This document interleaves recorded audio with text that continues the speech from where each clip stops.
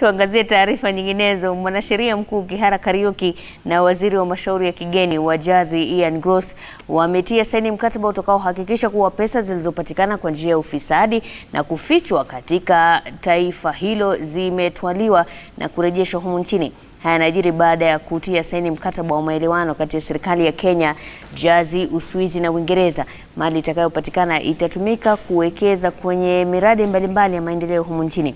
Mkataba huu unanuiwa kuongeza kasi katika vita dhidi ya ufisadi na kuwafungia njia wafisadi wanaoficha pesa nje ya nchi.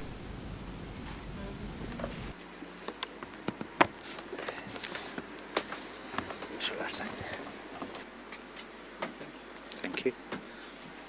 One and a half percent of all foreign direct investment that flows into Africa currently uh, comes from Jersey, and, and therefore I think that this wider cooperation is going to allow more of the funds that Jersey is custodian for to flow into uh, Kenya and to help deliver the President's Big Four agenda.